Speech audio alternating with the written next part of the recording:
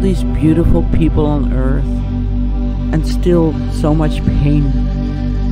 People hating each other and themselves.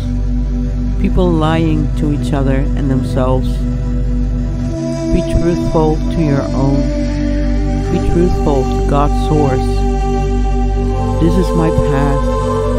And if you call upon me, I will lead you into this life of truth and peace within yourself.